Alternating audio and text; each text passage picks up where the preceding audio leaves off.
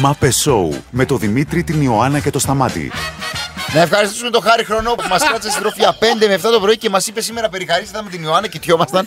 γιατί πραγματικά ήταν δύσκολο το ξύπνημα σήμερα, ειδικά σήμερα, για κάποιο λόγο που δεν ξέρουμε. Ναι, μάλλον, γιατί επειδή ήταν δουλεύουμε- έτσι. μάλλον επειδή δουλεύουμε μέχρι το βράδυ εμείς. Εμείς.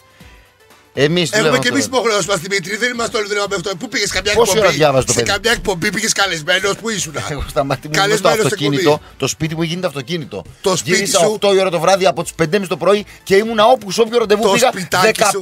λεπτό δικό σου και η μανούλα σου. Ξέρω η πολύ γλυκιά σου καλά η που είναι το μανούλα. σπιτάκι σου Και εγώ. εγώ ξέρω Εγώ πού ξέρω. είναι η μανούλα σου όμως. Εγώ ξέρω δεν ξέρω. ακριβώς.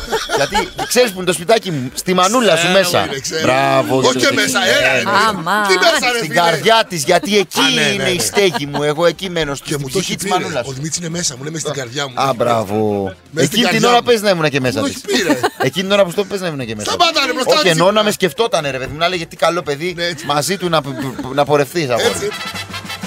Μάπε Σόου. Καθημερινά 7 με 10 το πρωί στο ρυθμό 949.